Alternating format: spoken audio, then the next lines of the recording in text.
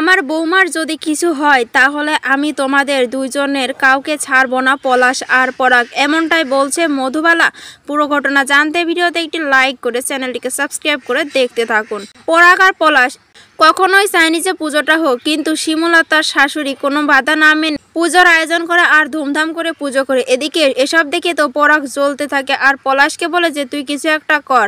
পলাশ বলে যে, সময় মতো সবকিছু দেখতে পারবি। দশমীতে ভাং খাওয়ার আয়োজন করা হয়। বিপাশা ভাং নিয়ে এসে শিমুলকে দেয়। সেটা শিমুল খুশি মনে খেতে থাকে। এক সময় তার গলা বুকে জ্বালা শুরু হয়ে যায়। এরপরে সে বলে, বিপাশা দি, তুমি আমাকে কি খেতে দিলে? বিপাশা বলে, আমি তো তোকে ভাং খেতে দিয়েছি। শিমুল বলে, শুধু ভাং নয় বিপাশা দি, এটার মধ্যে কিছু মেশানো আছে। কেউ তো বুঝতে পারে না যে, কি হয়েছে শিমুলের। একসময় শিমুল খুবই অসুস্থ হয়ে পড়ে।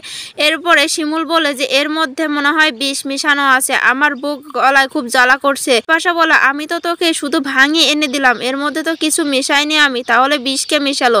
এরপরে কেউ দেরি না করে সবাই মিলে হাসপাতালে নিয়ে যায় শিমুলকে।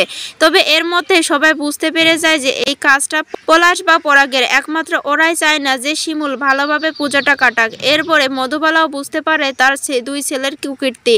এরপরে তাদেরকে বলে, শোনো পলাশ আর পরাগ, তোমাদের দুজনকে আমি বলছি, আমার বৌমার যদি কিছু হয়, তাহলে আমি তোমাদের দুইজনকে ছেড়ে দেব না, কথাটা মনে রেখো। পলাশ আর পরাগ অস্বীকার করে যে তারা শিমুলের ভাঙের মধ্যে কিছু মেশায়নি, কিন্তু মধুবালা বলে, তোমাদেরকে আমি হারে হারে চিনি। আমি জানি যে এই কাজটা তোমরা ছাড়া কেউ করতে পারে না। শুধু একটা কথা শুনে রাখো, আমার বৌমার যদি কোনো ক্ষতি হয়, তাহলে আমি তোমাদের দুইজনকে তো বন্ধুরা, আজকের ভিডিওটি তোমাদের কেমন লাগল, এখনই কমেন্ট বক্সে জানাও। আর নিয়মিত আপডেট পেতে আমাদের চ্যানেলটিকে সাবস্ক্রাইব করো। ধন্যবাদ।